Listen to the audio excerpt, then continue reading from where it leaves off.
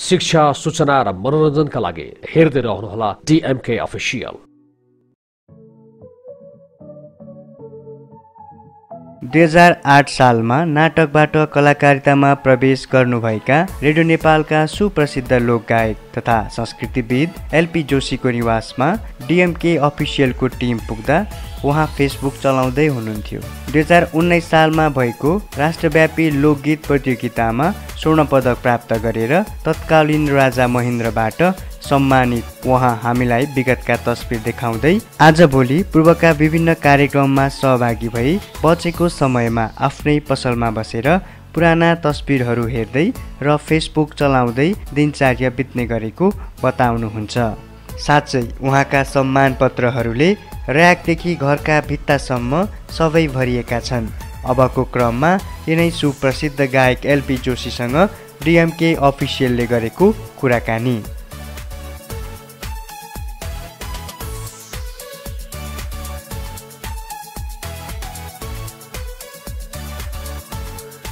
यहाँलाई स्वागत छ डिएमके अफिसियलको कार्यक्रममा। हजुर धन्यवाद। नेपाली लोक संस्कृति लोकगीतका कुराकानी गरिरहँदा एलपी जोशीको नाम छुट्यो भने अपुरो हुन्छ। यो आम सञ्चारकर्मीहरूले पटक पटक भन्ने गरेको छ तपाईँसँग कुरा हुँदा पनि। धेरैलाई थाहा नहोला या कतिलाई थाहा होला? हजुरको जन्म कहाँ भयो? मेरो जन्म चाहिँ धनकुटा बजारैमा हो मेरो घरै। धनकुटामा भयो मेरो जन्म चाहिँ। खास भन्नुपर्दा मैले उन्नाइस सय त्रियानब्बे लक्ष्मी पूजाको दिन म मैले आफ्नो यो संसारले हेर्ने मौका चाहिँ त्यतिखेर पाएको हजुरको बुबा र आमाको शुभ नाम के होला? तपाईँ कतिौँ सन्तानको रूपमा जन्मे जन्म लिनुभयो? तपाईँले धरतीमा पाइला टेक्नुभयो? लक्ष्मी पूजाको दिन उन्नाइस सय तिरानब्बेमा। हजुर। मेरो बुबाको नाम चाहिँ हो सु सु हामी भन्छौँ। उहाँ सुबेदार हुनुहुन्थ्यो। सुकृष्णमान सिंह जोशी मुमा विष्णुमान सिंह जोशी हुनुहुन्थ्यो।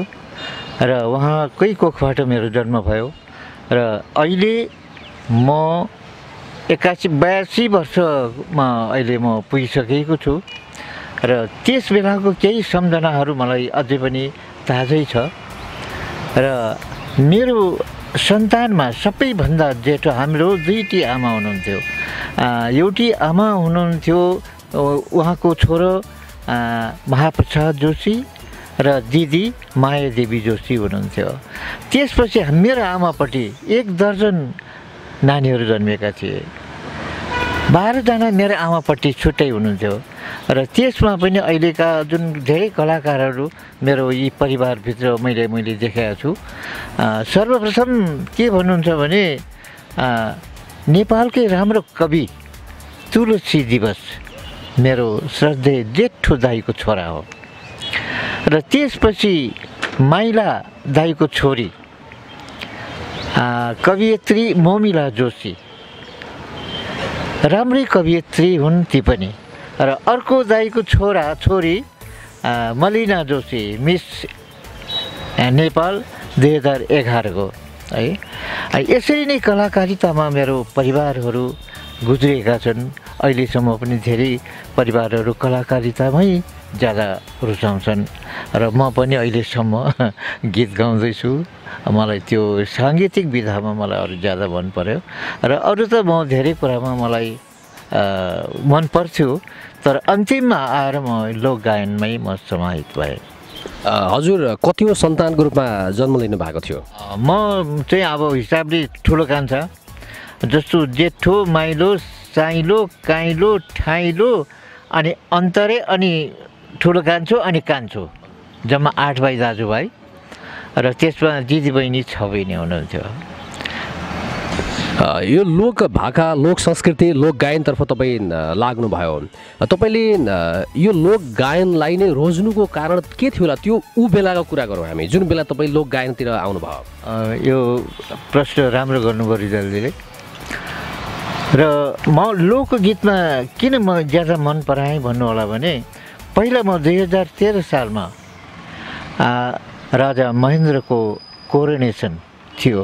त्यतिखेर काठमाडौँ जानको निम्ति हामीहरू धनकुटा कोशी अञ्चलबाट कलाकारहरू सात आठजना छानिएका थिए। त्यसमा म पनि परेँ एउटा। अनि त्यसमा त्यो उमा परेपछि अनि काठमाडौँ जाने त हामीहरू त बहुतै गाह्रो थियो। अब कहाँबाट जाने अब? कि प्लेनबाट जानु पऱ्यो प्लेन पनि थिएन होला त्यतिखेर जस्तो लाग्छ मलाई तेह्र सालमा। अनि त्यसपछि के हो भन्नु होला भने जोगबनी जानुपर्ने। जोगबनीबाट कटिहार समस्तीपुर दरभङ्गा त्यसपछि मुजफ्फरपुर हुँदै रक्सोल पुग्नु पर्थ्यो अनि रक्सोलबाट अनि बल्ल बल्ल गाडी त होइन ट्रकमा लोड भएर जानुपर्छ हामीहरूको। ऊ बेला नेपालमा धनकुटाबाट पनि अथवा तराईको कुनै भागबाट काठमाडौँसम्म पुग्ने बाटोहरू थिएन। बाटो त केही पनि छिँदै थिएन। है अब त्यसरी हामीहरूले धेरै खेप काठमाडौँ पुग्यौँ। त्यसपछि अठार उन्नाइस सालदेखि चाहिँ अलिकति सहज जस्तो भयो। हामीले चाहिँ किन सधैँ गइरहेको हुनाले सहज हुँदै गयो। अनि पछि त हो बत्तिस सालतिर होला सायद मलाई यो अहिले यो बाटो जुन हामीहरूको बाटो खुल्यो। अनि त्यसपछि अलिअलि गर्दै तलबाट पनि जान थालेको मात्रै हो। राजा महेन्द्र न- को कुराकानी गर्नुभयो तपाईँले? तपाईँ दरबारमा पनि त्यतिखेर गएर आफ्ना लोक गायनहरू कलाहरू प्रस्तुत गर्नुहुन्थ्यो? त्यसो चाहिँ हो अब दरबारभित्र जाने क्रम त हाम्रो कहिले पनि भएन। किनभने हामी त अब बाहिरको मान्छे भयौँ। सायद काठमाडौँमा बसेको भए सायद हामीहरू पनि दरबारी हुन्थ्यो मलाई तर त्यो हामीहरूले मौका पनि परेन। र दरबारी हुन त्यति अब आवश्यक पनि मैले देखेको थिइनँ। अनि भन्नुहुन्छ अब मैले त्यहाँ रेडियोमा गाउने मौका चाहिँ त्यतिखेर कोरोनेसनमा हामीहरूले जब एउटा गाडीमा हामीहरूको लोक प्रदर्शन गरेर काठमाडौँ भेलीभित्र घुमाइए घुमाइसकेपछि अन्तिममा पछि गएर मलाई रेडियोमा गीत गाउने ऊ आयो अफर आयो र मैले गएर रेडियोमा गाएँ। गाएपछि म पास भएँ रेडियोमा। मेरो स्वर परीक्षा पनि त्यतिखेर नै भयो र त्यतिखेर अनि त्यसपछि म लोकगीत म बराबर जाँदाखेरि चाहिँ गाएर आउने गर्ने गर्थेँ। त्यसपछि म काठमाडौँ जाँदाखेरि गीतहरू रेकर्ड गर्नु मलाई असहज भएन। किन मैले स्वर परीक्षा पास गरिहालेको थिएँ? त्यसले गर्दा सजिलो भयो मलाई। अनि रेडियोमा दुई चारवटा गीतहरू मैले रेकर्ड गरेर आउने गर्ने गरे गरेको छु। जस्तै त्यतिखेर मैले रेकर्ड गरेको गीतहरूमा ओल्लो खोलो पल्लो खोलो कमिलाको गोलो भनेर हौ राणाज्यू रिटिङ रिटिङ नबजाऊ बिनायो बिनायोले मन मेरो छिनायो। अनि जति खायो उति मिठो गैरी गाउँको आलु। जति खायो उति मिठो गैरी गाउँको आलु हो साइली लठौरी भन्ने गीत मैले त्यतिखेर बेलामै मैले गाएको थिएँ त्यतिखेर। तपाईँले सुरुवातमा पहिलोपटक चाहिँ यो रेडियो नेपालबाट गीत गाउँदाखेरि कुन लोकगीतमा तपाईँले आफ्नो आवाज अ, म, लाई बाहिर निकाल्नुभयो? आवाज दिनुभयो? अथवा नेपाली रेडियो नेपालबाट तपाईँले पहिलोपटक रेकर्ड गर्दाको गीत कुन थियो होला? त्यो ठिक सोच्नुभयो।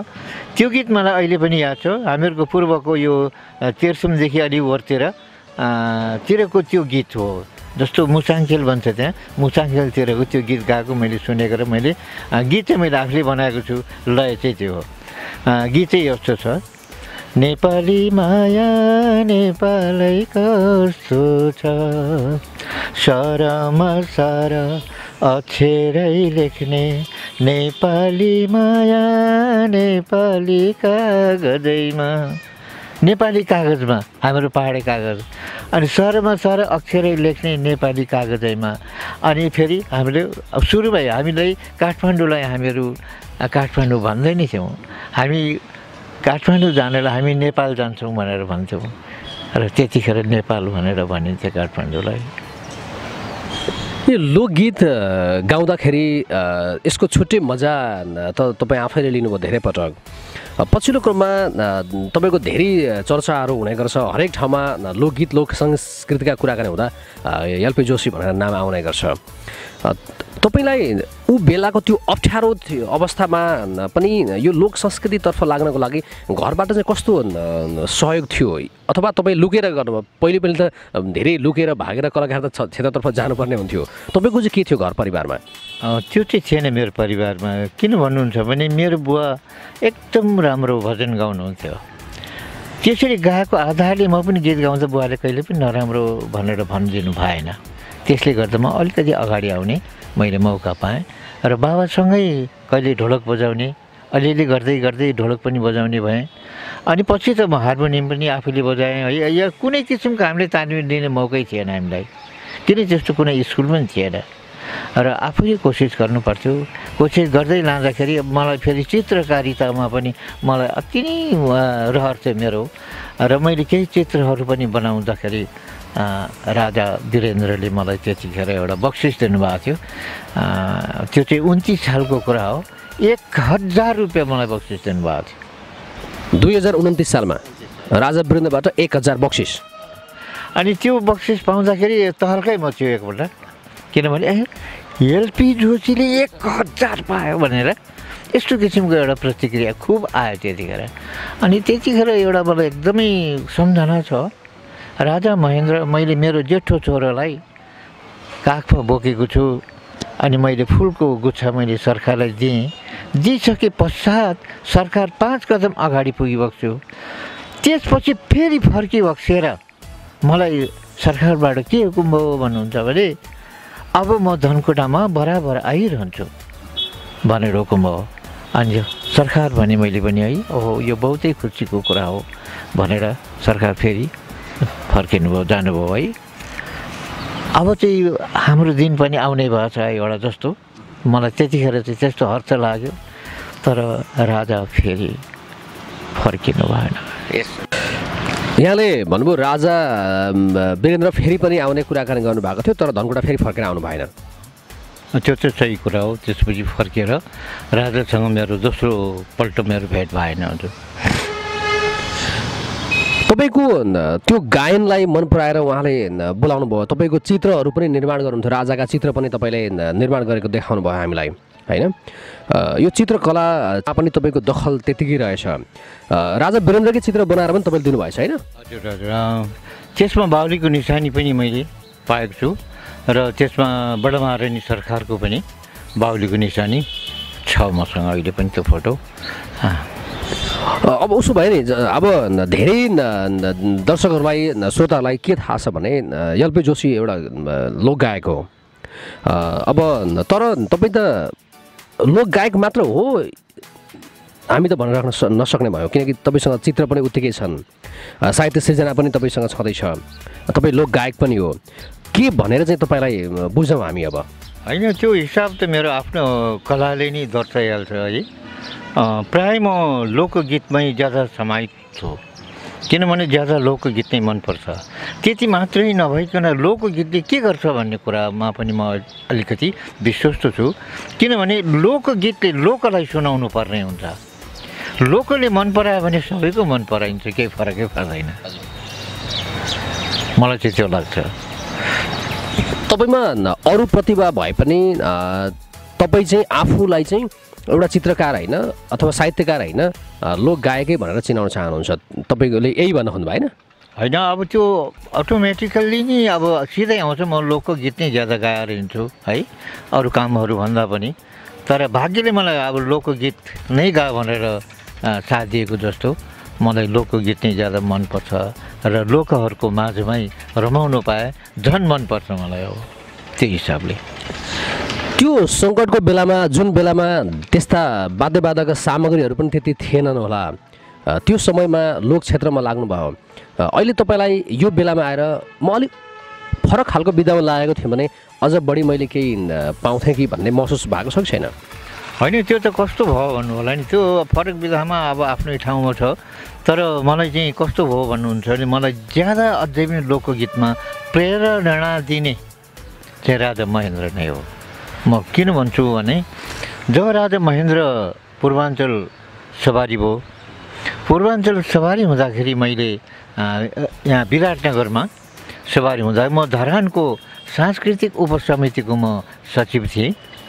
र त्यतिखेर मैले राजा महेन्द्रसँग मैले त्यहाँ बोल्ने मौका मैले पाएँ भेटेँ र मैले सरकारमा जाहेर गर्दाखेरि विराटनगर लिएर आउनु नाच भनेर हुकुम भएको थियो। अनि मैले नौवटा प्रोग्राम लिएर गएँ जम्मा त्यतिखेर मलाई एकदम सम्झना छ। नौवटा प्रोग्राममा मेरो सातवटा प्रोग्राम त मेरै मात्रै एटेच भयो। अरूको त एक दुईवटा एक दुईवटा मात्रै भयो। र पनि त्यहाँ सातवटा प्रोग्राममा मैले एउटा चाहिँ सरकारको मन जित्न सफल भएँ भन्ने मलाई त्यतिखेर लाग्यो। किनभने मैले दमै गीतहरूको दमै जातिहरूको गीत पनि त्यहाँ सुनाउनु नहुने जस्तोको त्यस्तो किसिमको प्रतिक्रिया उनीहरूले जनाइ बताइसकेको छ। किन त्यहाँ अरू हुँदो रहेछ जान्ने। अरू जान्नेहरूले सानो जातको गीतै गाउनु नपाउनु भन्ने कुरो त हुँदैन नि। अनि ठ्याक्कै पारिकन मैले तपाईँको त्यो गीतलाई के भनेर गाएँ भन्नुहुन्छ भने सगुन गीत भनेर गाएँ। सगुन त अब झन् राम्रो नि। सुरुमै सगुन गीत गाइयो नि त। सगुने भनिन्छ नि धमाहरूले कमसेकम सगुने पनि भन्थे उहाँहरूलाई है। तर म उहाँहरूको गीत गाउनु म निकै मायर भएको थिएँ त्यतिखेर। र एउटा गीतको लाइनमा चाहिँ राजा मखै हाँसिबक्छु क्या। मजाले। अनि त्यो लाइन कस्तो थियो तपाईँलाई म अलिकति सुनाउँछु। के को कोरुको के कोमा कोरुको कुराउनेको कोरुको पोसाइला यति राम्रो झिल्केमा जोबन तैमरीलाई जिउला निलैलै हैला र बर हैला र के को कोरुको के कोमा कोरुको कुराउनीको कोरुको पोसाइला अहिलेको त झिल्केन मात्रै पोइ त राम्रो पोहोरको पोसाइला। हैला र बर हैला र बर यो गीत गाएँ। यो पोहोरको पो साइला भन्ने बित्तिकै राजा महेन्द्र खुब हाँसी बस्यो अब के घट लाग्यो? अनि त्यसपछि अन्तिममा अरू अरू प्रोग्राम मैले देखाउँदै गएँ। साह्रै खुसी हुनुभयो। र अन्तिममा प्रोग्राम सकिने बेलामा सकिएपछि मलाई लास्टमा मलाई बोलाइबक्स्यो अनि मलाई डर लाग्यो। मैले नराम्रो पो गीत गाएँ कि? भाइ यस्तो गीत गाउनु पो हुँदैन थियो कि? भने मलाई त्यो लागेर डराइ डराइ पुगेँ म। राजा बोर्सीमा एकदमै मजाले आगो तापेर बस्यो। पुसको महिना थियो होला। अनि त्यसपछि तिमी काठमाडौँ आउनु सक्छौ भन्ने हुकुम भयो। अब मैले अब आउनु त सक्छु भन्नै पऱ्यो अब सरकारले भनेपछि कुरा हो। म आउँछु सरकार भनेर त्यसै भने। अनि अब काठमाडौँ पुग्यो हेर्नुहोस् अब। फागुन सातमा मैले भाग लिनुपर्ने रहेछ। फागुन सातमा काठमाडौँ पुगेँ। कति कति सालको कुरा हो यो? यो उन्नाइस सालको। हजुर। उन्नाइस सालको कुरा हो। अनि त्यसपछि फागुन त्यो सात गतेमा मैले यो गीतै मैले गाउनु पर्ने भयो। गाउँदाखेरि एकदमै रेडियो नेपालमा त भवनै थिएन। सानो एउटा भवन चाहिँ केही थिएन। खालि रेडियो त्यहाँबाट प्रसारण हुन्थ्यो मात्रै। र त्यतिखेर हाम्रो दामोदर शमशेरज्यूको घर सेतो दरबारमा लोकगीत कम्पिटिसन त्यहाँ भएको मलाई एकदम सम्झना छ। र फेरि हामी कलाकारहरूलाई त्यतिखेर पचास रुपियाँ दिन्थ्यो। एकजनालाई पचास रुपियाँ हामीले पायौँ। त्यो दिनको चाहिँ तर अर्को दिन त उयो छ रुपियाँ। है त्यसरी हामीले अनि त्यो गीत गाइसकेपछि मलाई गर्व लाग्छ अहिले यतिखेर। हाम्रो राष्ट्रकै सेक्सपियर बालकृष्णसम्म र धर्मराज थापाज्यू र लक्ष्मण लोहनी। हामी तिनजना उहाँहरू जजमेन्ट हुनुहुन्थ्यो। है आज मलाई यस्तो लागिरहेको छ म म त भाग्यमानी मान्छेहरू छु। बालकृष्ण समर जस्तो जो मेरो गीतमा जजमेन्ट गर्नुहुन्थ्यो भनेदेखि म सानो मान्छे होइन। कहिलेकाहीँ त म आफैलाई पनि ठुलो मान्छे जस्तो आफूलाई पनि त्यो महसुस लाग्छ। र त्यसपछि मैले त्यो गीत गाइसके पश्चात त्यहाँ फेरि राजा महेन्द्र मजाले हाँसिरहेको छु खुब मजाले। अब राजा महेन्द्र हाँसेपछि जजमेन्टहरूलाई पनि अब त्यहाँ पुग्यो होला। राजा महेन्द्रको प्रतिक्रिया कस्तो देखिन्छ भनेर। अनि त्यति हारिसकेपछि अब करिब चालिस पैँतालिसभन्दा बेसीकै कम्पिटिसन थियो। देशव्यापी रूपको अनि त्यहाँ ठ्याक्कै पारिकन मेरो पहिलो नाम मेरो आयो हेर्नुहोस् है। फर्स्टमा भएँ। अनि राजा महेन्द्रबाट मैले त्यतिखेर सुनको तकमा पाउन सफल भएँ। सुनको तकमा? अझै यो यो बेलामा अथवा हामी दुई हजार चौहत्तर सालमा छौँ अहिले होइन? चौहत्तर सालको यो चैत मा सुनिरहँदाखेरि चाहिँ सुनको तकमा भन्दा त मान्छे सुन्नेले पनि अचम्म मान्नुहुन्छ होला होइन? अब अहिले त gold medal gold gold medal भन्नु पऱ्यो तर हामी चाहिँ अब उहिलेदेखि सुनै भन्ने जाने आयौँ। अब सुनै महँगो हो। अनि त्यसले गर्दा त्यसको तकमा पाउनु भनेको म भाग्यमानी नै हुँ। तपाईँलाई ऊ बेलाका कुराहरू हेर्दाखेरि सम्झिँदाखेरि त्यतिखेरका दृश्यहरूलाई अवलोकन गर्दाखेरि र हिजो आजको समयलाई सम्झिँदाखेरि कस्तो फरक भिन्नता कस्तो पाउनु भएको छ तपाईँले? होइन अबको समयमा त साह्रै सजिलो कुरा छ नि तपाईँको। किन बाजा गाजाहरू इत्यादि सबै सहज रूपमा अब गीत गाउनु अब राम्रो स्वर पनि चाहिँदैन त्यसले त। अब त्यो मेसिनले अलिकति राम्रो भोकल पनि बनाइदिँदो रहेछ स्वर पनि बनाइदिँदो रहेछ। अब यस्तो दिन आयो हामीले त त्यो हिसाबले नहुँ हामीले त कम्पिटिसनमा भाग लिनुपर्छ कति रियाज गर्नुपर्छ पर्छ नि। है? अब रेडियोमा गाउने बित्तिकै खोकी आयो गाउँदा गाउँदै खोकी आयो भने खोकी पनि गाइयो। त्यो फेरि अर्को फेरि अब बजाएर गाउँला भन्ने कुरै आएन। अब त्यो जमानाको मान्छे हामी पऱ्यौँ। अहिले त तपाईँको स्वर भएन स्वरलाई बनाउने यो बाजा यहाँनिर राख्दैन भन्दा यो हुने। अब हामी एउटा मादल र हार्मोनियममा गीत गाएको मान्छे है? तर अहिलेसम्म हाम्रो गीत मन पराउनु पर्ने मान्छेलाई किन? के छ त त्यसमा? यो कुरा चाहिँ अहिलेको जनमानसले बुझ्नुपर्ने कुरा हो। अहिले खालि पुरानै गीत माग्ने मसँग जो पनि मेरो मसँग गीत गा- माग्न आउँछन् अहिले हेर्नुहोस्। तपाईँले पहिले गाउनुभएको गीत त अहिले नयाँ रिमिक्स भए पनि आएछ नि होइन? तपाईँले अनुमति दिनुभएको थियो कि त्यो त्यतिकै हो? तपाईँले सोध्नुभयो कि यो त एकदमै ठिकै कुरा हो। अब रिमिक्स भन्ने कुरा अब अलिकति बेग्नै पार्ने बित्तिकै रिमिक्स भइहाल्ने अरे है? आफ्नो हुने उनीहरूको। अब जुन सर्जक हो त्यसको चाहिँ मतलब आएन। म यहाँ तपाईँहरूले सिधै भन्छु यो कुरा चाहिँ तपाईँहरूले राख्नु पनि पर्छ क्या। जस्तो अमृत गुरुङ नेपथ्यको वरिष्ठ गायक संसारैमा अब चिन्जान छ। तर मेरो गीत गाएर ऊ संसारैको चिन्जान भएको यो तपाईँलाई अचम्म लाग्ला। अरे एलपी जोशीको गीत होला भन्नु होला हो। तर वास्तविक मेरो गीत गाएर उसले जुन रेशम भन्ने गीत छ सानोमा सानो कमलको हाँगा भन्छ। तर मेरो त्यो गीतमा के लाइन छ भन्नु होला भने खिपीमा खिपी भिनायो बाजा भन्ने। अब त्यो लाइनमा चाहिँ उसले सानोमा सानो कमलको हाँगा भनेर यसरी गीत गाएको छ। म त्यसलाई अहिलेसम्म के भन्नु त अब? त्यसलाई मैले चोर भन्नु परेन? म त चोरै भन्छु अहिले पनि। किन भन्नु होला भने यदि सर्जको मेरो गीत त्यो अब साठी सालमै मेरो लोकार्पण भइसकेको छ। खालि एक दुई लाइन चेन्ज गरेको छु। उसले माथिको एक लाइन मात्रै चेन्ज अरू कुनै चेन्ज छैन। अनि मेरो ठाउँमा चट्टै थियो भने उसले ठाउँमा रेशम भनेको छ। रेशम त मेरो गीतै छ अर्को पनि छ रेशम भन्ने गीतै छ। उकाली ज्यानमा लौ तिर्खा लाग्यो खाउँ काकरी चिरेर रेशम भन्ने छ यो मैले बाइस सालमा गाउँदा दोस्रो भएको थिएँ। उन्नाइस सालमा पहिलो भयो अनि बाइस सालमा दोस्रो पनि भयो। अनि अब उन्तिस सालमा पनि के के भयो भयो। है अब यस्तो कुरा गरेर अब साधिने भएन। यो पुरानो अहिले गीत चोर्ने जुन एउटा प्रवृत्ति छ त्यो चाहिँ राम्रो होइन। सर्जकहरूलाई सम्मान गरिदियो भने ए हाम्रो पनि सम्मान हुने थियो। हाम्रो त एउटा नाउँ मात्रै नै हो। जसरी अब तपाईँलाई यो मन परेन धेरैलाई मन नपरेकै होला भन्नुभएको छैन होला तपाईँले प्रश्न भन्नुभयो। तर न, राज्यले के गरिदिएदेखि हुन्थ्यो होला जबकि त्यो गर्दाखेरि न कसैको गीत चोरिन्थ्यो न स्रष्टालाई सम्मान हुन्थ्यो। के के गर्दा हुन्थ्यो जस्तो लाग्छ तपाईँलाई? होइन मलाई चाहिँ के लाग्छ भन्ने होला भने अरू केही पनि चाहिँदैन। सर्जको त्यो यो गीत फलानाको हो भनेर गाइदिए त सकिएको हो नि। अरू त केही पनि चाहिएको होइन नि मैले मागेको पनि होइन। मलाई यति पैसा दिए भनेर मैले भने पनि होइन है? तर यसरी सर्जकहरू मर्नु चाहिँ हुँदैन।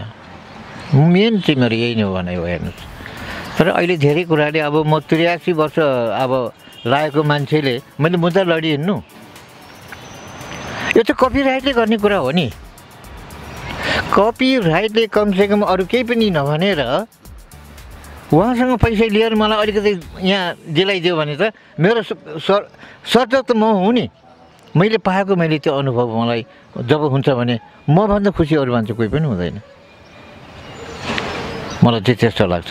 तर अहिले अब दुनियाँको एक लाइन आ, चोरिदियो गीत लेख्यो अनि त्यसपछि अर्को लाइन आफ्नो यस्ता उस्ता बनाए अनि त्यो गीत भइहाल्छ। अब यसरी गीतहरू कोठामा बसेर लेखिने गर्छ हेर्नुहोस् लोकगीत। त्यसले गर्दाखेरि त्यसको वास्तविक कुरा चाहिँ अब त्यहाँ आउँदैन। कस्तो भने उयो ऐसेलुको झ्याङमा पिङ खेलाउँला भने जस्तो। अब त्यसले ऐसेलुको बोटै देखाएर छ नि। के को पिङ खेल्छ ऐसेलुको बोटमा? लहरा लहरामा कहाँको पिङ खेल होइन? थाम्छ ऐसेलोले कस्तो गजब लाग्छ। यस्तो यस्तो अब कोठामा बसेर देखायो हो नि त त्यो। भने यस्तो गीतहरू पनि लेखिन्छन् है। तर अब यो गीत सर्जकहरूको पहिला गाइसकेको गीत त रेडियोमा छ नि त रेकर्ड। अब त्यसले बताइहाल्छ नि। तर पछिल्लो क्रममा चाहिँ लोक भाका लोक संस्कृतिहरू पनि केही बिग्रिँदै देखिएको फरक खालको फरक ट्रेन्डमा गीतहरू आउन थालेको छ नि। लयलाई नै बिर्सिएर। अनि त्यो त कस्तो भने उमेर हो क्या? मैस हो त्यो सबै। अहिले जे गर्दा पनि हुन्छ। बुझ्नु भने कि? बैंस त तपाईँलाई पनि लागेको थियो नि त। एक एक जमानाको तपाईँ हिरै आफै कलाकार होइन बैंस त कसलाई आउँदैन होला र? सबैले आउँछ बैंस बुझ्नु भने कि? र त मैले कान्तिपुरमा मेरो एफएमले कान्तिपुर त्यतिखेर एफएमै थियो क्यारे जस्तो लाग्छ मलाई। मेरो इन्टरभ्यू थियो क्या। इन्टरभ्यूमा मैले सबै भन्दै गएँ। तपाईँलाई सबैभन्दा मन के पर्छ तपाईँलाई लु भन्नुहोस्। भने अब हेर्नुहोस् है। तपाईँले बाबु मनपर्छ कि आमा मनपर्छ कि? आफ्नो श्रीमती मनपर्छ कि आफ्नो प्रेमिका मनपर्छ कि छोराछोरी मनपर्छ कि के मनपर्छ? अनि मैले पनि एकछिन त सोच्नु पर्ने भयो नि। अब को सबै मनपर्नेहरू हुन्छन्। अनि अन्तिममा मैले के भनिदिएको छु भने मलाई त सबैभन्दा मनपर्ने बैंस हो भनिदिएको छु बैंसो जे खाए पनि पच्ने जे खानु पनि सकिने अनि त्योभन्दा राम्रो अरू के चाहिने अब? जे लाए पनि सुहाउने त्यस कारण बैंस राम्रो लाग्थ्यो मलाई त्यतिखेर पनि। बैंस त सबैलाई आउँछ। तर त्यो बैंस जोगाउनु चाहिँ गाह्रो हुन्थ्यो क्या। त्यति नै हो। अहिले यो यही बैंसकै कारण चाहिँ लोक संस्कृति लोक भाका लयहरू चाहिँ परिवर्तन भएको? हो यो वंशले पनि परिवर्तन भयो तपाईँको र खास चाहिँ कस्तो भने सही ठाउँमा पुग्नु सकेन क्या। जस्तो लोकगीत अब कलेक्सन गर्नेले पनि सही ठाउँमा पुग्नु सकेन भनेदेखि त्यो त्यहाँको सही गीत त अब ल्याउनु सकेन नि त उसले। मैले जस्तै भन्छु म तपाईँलाई कस्तो भने मैले एउटा शेर्पा गीत गाएँ। सोयाला गाउँला सिनादी सोयाला किपु सिनायाला दि तल चम्बारोरो चम्बा थुम्बारोरो तल लिङ्सारोरो भन्ने गीत गाएँ हेर्नुहोस् है अब। म सही ठाउँमा पुगेको छु। हेर्नुहोस्। अब यो अलिकति दिमाग पनि हुनुपर्छ भनेको कुरा नि। त्यहाँनिर म अलिकति अहिलेका सर्जक अहिलेका गीतकारहरू या अहिलेका सङ्गीत अब पारखीहरूलाई पनि यो अलिकति पुगेको ठाउँको जुन सङ्गीत आउँछ त्यो अरूको ठाउँ त्यहाँ मिसाएर त मिल्दैन। त्यस कारण म के भन्छु भने यदि लोकगीत लेख्नुपर्छ भने ठाउँमै पुग्नुपर्छ। र ठाउँमै गएर सुन्नुपर्छ अनि मात्रै सही आउँछ हेर्नुहोस्। तपाईँले नेपाली चलचित्रमा पनि पाइला टेक्नु भएको थियो होइन? त्यो पनि अब एउटा रहर थियो। रहरमा चलचित्रमा पनि पाइला। हाल्यो मैले अलिकति मैले तपाईँले यो अहिले लोकगीत कलेक्सनको मैले भन्नु मन लागेको थियो। र करिब पाँच सातजना भन्दा बेसी भोट शेर्पा जातिहरू जाँदाखेरि मैले उनीहरूकै पछि पछि लागेर हप्ता दिनमा शङ्कर सभा छेउवरतिर साटारे भन्ने ठाउँ छ। त्यहाँ पुगेपछि मात्रै म गीतको त्यो गीत गाउनु कन्फिडेन्समा हेर्नुहोस् है। म सक्षम भएँ त्यतिखेर। अब सक्षम त भएँ नि। अनि आएँ रेडियोमा पनि गाएँ खुब चल्यो रेडियोमा पनि हेर्नुहोस् है। अनि अब रेडियोमा त प्रतिक्रिया आउने भयो नि त। यो गीतले के भन्नु खोजेको भन्दा ला लोपारेर आफैलाई पनि आफूलाई पनि थाहा भने हेर्नुहोस् है अब। खालि गीतसँग मात्रै मतलब हो। अब त्यतिखेर दिमागमा मलाई अलिकति यो गीतले के भन्नु खोजेको हो? इत्यादि मैले त्यो यदि मैले जानेको भए अर्थात् उनीहरूलाई सोधेर मैले मनमा राखी छोडेको भए कति रमाइलो हुन्थ्यो। त्यो सही कुरा त्यहाँ आउँथ्यो नि त है? हो यसरी यसरी लोकगीत हामीले कलेक्सन गरेर हिँड्नु पर्थ्यो। अब अहिले त गाउनु पाएको छैन। कहाँ यो छासो अब के मेसिन लगाइरहेको हुन्छ छासो सुन्यो घरमा गएर त उसको पो गीत भइरहेको हुन्छ। यसरी गीतमा अलिकति भिन्नता र राम्रो चाहिँ खासै त्यसरी आएको छैन। तर गीत यति चर्चामा आउनु छ भने लोक भाका र आधुनिक भाकाको मिक्स नै अब त्यो नै राम्रो हुन्छ अहिले चाहिँ। यता लोकगीतलाई पनि छुइरहेको छ आधुनिकलाई पनि छुइरहेको छ अहिलेको लोकगीतहरूमा तपाईँ सन्तुष्ट हुनुहुन्छ? म त एकदमै छुइनँ। किनभने अब छुइनँ भन्दा आफू पनि अब लोकगीत गाएर हिँड्यो। लोकगीत त मलाई त्यसै पनि मनपर्छ नै है। अब राजा महेन्द्रबाट मैले अब यो चाहिँ लोकगीत गाउनुलाई मैले प्रेरणा पाएको हो। र लोकगीत नै मैले भनिहालेँ नि तपाईँलाई सम्पूर्ण लोकगीतले नै लोकलाई दर्शाउने कुरा हो। गाउँघरको कुरादेखि लिएर सम्पूर्ण भनौँ न गाउँकै अब परिचय लोकगीतबाट नै सुरु हुन्छ। म नेपाली फिल्मी क्षेत्रतर्फ छिर्न चाहन्छु। तपाईँले नेपाली चलचित्रमा पनि पाइला टेक्नु भएको थियो। कसरी त्यहाँ पाइला टेक्नु भयो र तपाईँ किन त्यस पछाडि फेरि आफ्नो हिँडाइलाई आफ्ना पाइलाहरूलाई अगाडि बढाउन चाहनु भएन? एउटा एउटा खुब रमाइलो कुरा छ तपाईँको। के भयो भन्नु होला भने मैले यो जुन यो मेरो हिजो आज भोलि भने जो नेपालको दोस्रो चलचित्रमा मैले जुन यो कोरियोग्राफर गरेँ अनि त्यसपछि मेरो अभिनय मेरो फेसियल एक्सप्रेसन इत्यादि सबै त्यो डाइरेक्टर हिरा सिंहज्यूले उहाँले मलाई अब मलाई खुब मन पराउनु भएको थियो। र उहाँले के भन्नुभयो भने ल लक्ष्मी अर्कोपल्ट नेक्स्ट अर्को फिल्ममा चाहिँ तिमीलाई मेन रोल भनेपछि हिरोको रोल म दिन्छु तिमी ढुक्कै बस भनेपछि म त हिरो भएँ नि। आफूलाई हिरोको अनुभव भयो तर हिरो हुनु सकिनँ। किनभने उहाँ जब बम्बई जानुभयो जुन हामीले त्यो खिचेको अब फिल्म त यहाँ केही पनि हुँदैन थियो। बम्बई लगेर मात्रै त्यो तयारी गरेर आउनु ल्याउनु पर्ने क्रममा उहाँ उही नै बित्नुभयो। अ, हिरा सिंह अब कहिले नआउने गरेर नेपाल नआउने गरेर उही नै बित्नुभयो। अनि बितिसके पश्चात तपाईँको ममा एउटा एकदमै त्यो फ्रस्ट्रेसन आयो।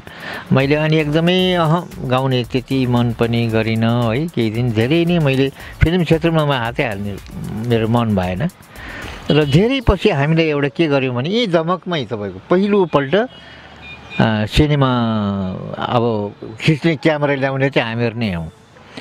यसमा एउटा साथी हुनुहुन्थ्यो यहाँ कैलाश शाह भन्ने हुनुहुन्थ्यो है कैलाश शाह। म अनि अर्को हाम्रो यहाँ राम बुढाथोकीहरू पनि हुनुहुन्थ्यो। र हामीहरूले मिलेर एउटा फिल्म गर्ने तयारी गऱ्यौँ है। तर गर्दा गर्दै बिच चाहिँ हामीले अब सिलगढीबाट ल्याउनु पर्थ्यो है। अब क्यामराम्यान पनि सिलगढीबाट। यहाँ त अनि यो के क्यामेरा भन्दो रहेछ भिएचएस क्यामेराले खिचेको अरे। पछि नेपाल टेलिभिजनले त्यो क्यामेराले खिचेको त यहाँ त लिने चलन छैन भनेर भनेपछि खर्रकै लड्यौँ हामी। तर पछि हामीले फेरि अनि बाउको बिहे भन्ने टेलिसिरियल चाहिँ त्रिपन्न सालतिर ल्याएर हामीले अनि त्यो प्रदर्शनमा हामीले ल्यायौँ।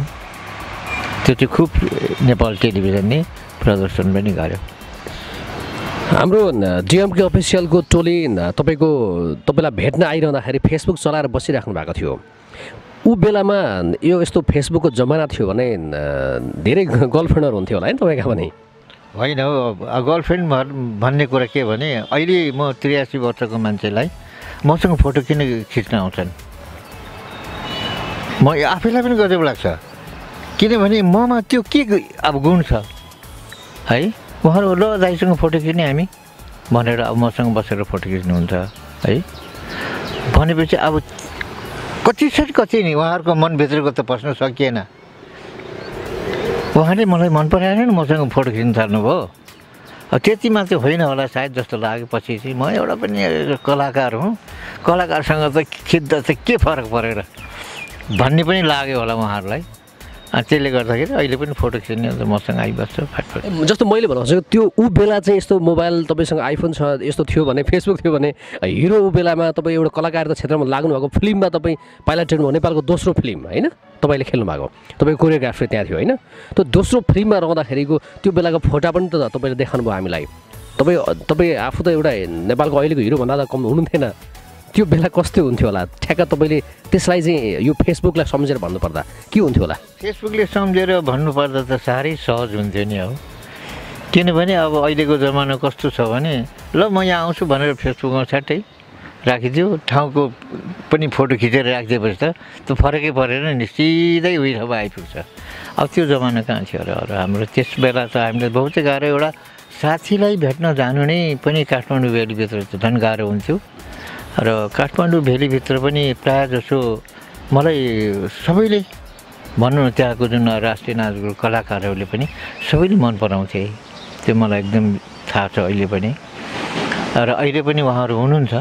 उहाँले मलाई अहिले पनि अब राम्रैसँग दृष्टिले मलाई हेर्नुहुन्छ र बोलाउनुहुन्छ घरैमा आउनुहोस् न भन्नुहुन्छ उहाँहरू। अब जस्तो नेपालकै पहिलो नायिका भुवन चन्द हुनुहुन्छ। त्यसपछि हाम्रो वसुन्धरा भुषाल बहिनी हुनुहुन्छ। उहाँलाई चाहिँ मलाई माइती नै मान्नुहुन्छ। त्यस्तै अर्को नायिका दोस्रो नायिका छ तपाईँ ब्ल्याक एन्ड व्हाइट फिल्मको होला। मलाई जहाँसम्म लाग्छ चैती देवी। ती मेरो एकदम पुरा बहिनी हुन्थे माया नै गर्छन् उनी पनि खुब माया गर्छन्। र यसरी अब यसरी नेपालकै वरिष्ठ यिनीहरू तिनवटा भनेको तपाईँको एउटा बहुत ठुलो नेपालको ठुलो सर्जकर हुन् यिनीहरू। यिनीहरूको पनि म माया पाउँछु जहिले पनि।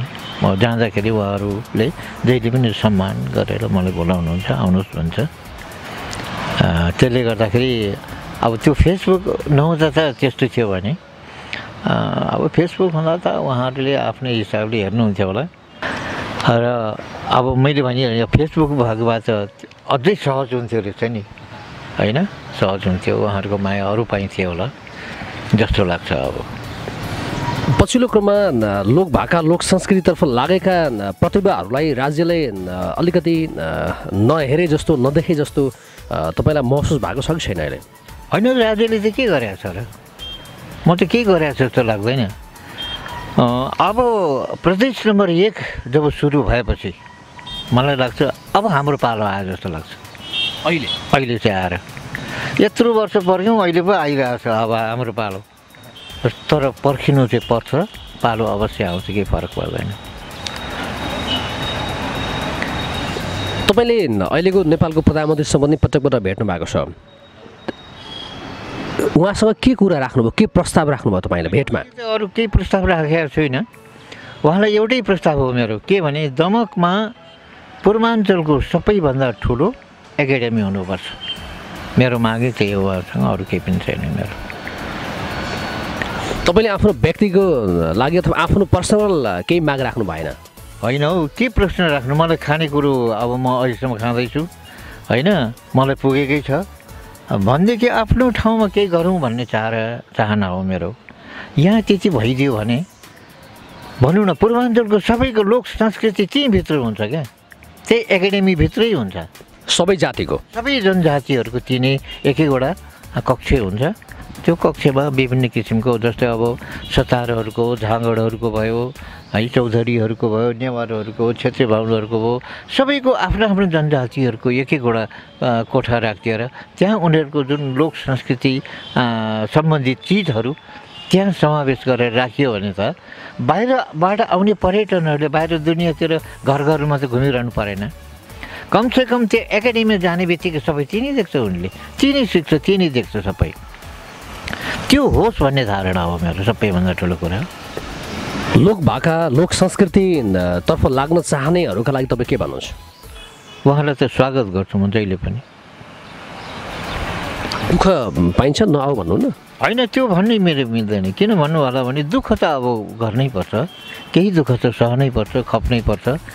दुःख सहेपछि मात्रै हो अलिकति आफूलाई हल्का हुने।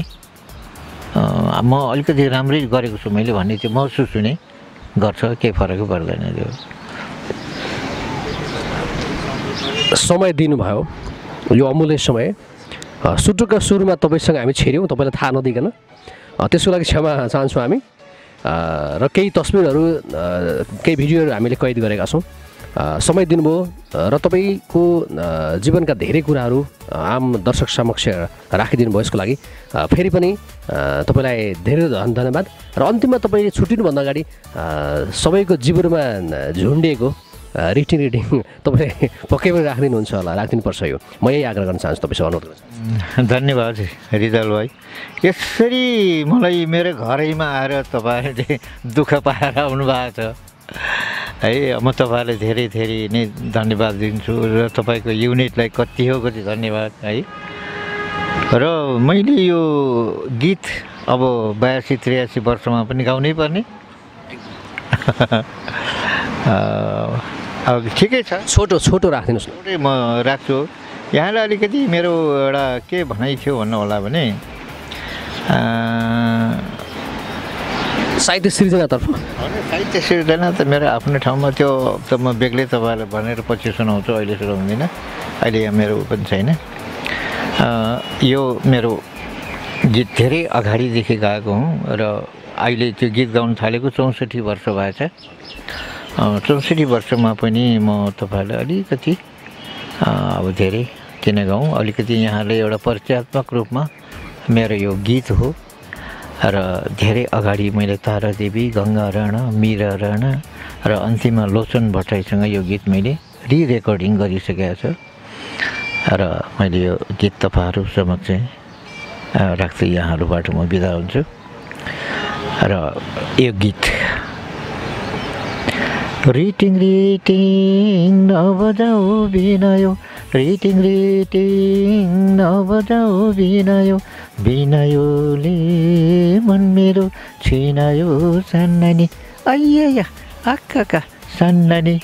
यही हो मेरो गीत। तर यसमा अहिले भन्दा भन्दा यहाँ मेरो भाइ धनकुटे कान्छा पनि आएको छ।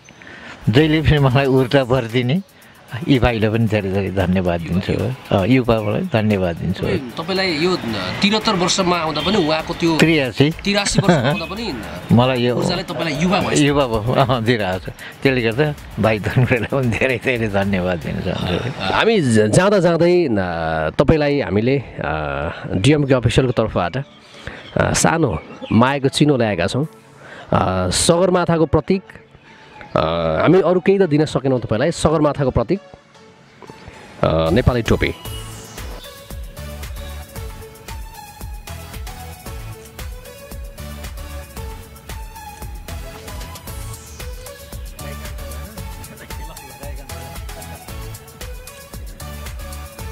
कार्यक्रममा आफ्नो अमूल्य समय र त्यति नै अमूल्य तपाईँका विचार राखिदिनु भएकोमा धेरै धेरै धन्यवाद। धन्यवाद रिजालजी यसरी मलाई पनि यसरी छोटो समयमा थोरै कुराहरू मैले राख्ने मैले मौका पाएँ। यहाँलाई धेरै धेरै धन्यवाद। यो युनिटलाई नै धन्यवाद मैले भनिहालेँ। यस्तै यस्तै भिडियोहरू हेर्नका लागि सब्सक्राइब गर्नुहोला डिएमके अफिसियल।